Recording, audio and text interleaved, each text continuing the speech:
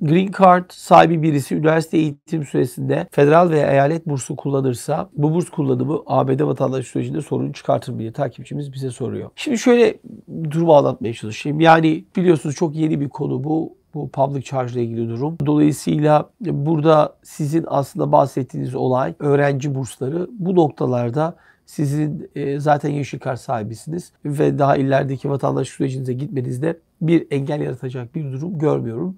E, dediğim gibi uygulamada biz tabii görevlilerinin bu public charge rule'u nasıl uygulamaya devam edeceğini tabii ki sabırsızlıkla bekliyoruz ama şu an için durum bundan ibaret deyip takipçimizin sorusunu cevaplamış olalım. Música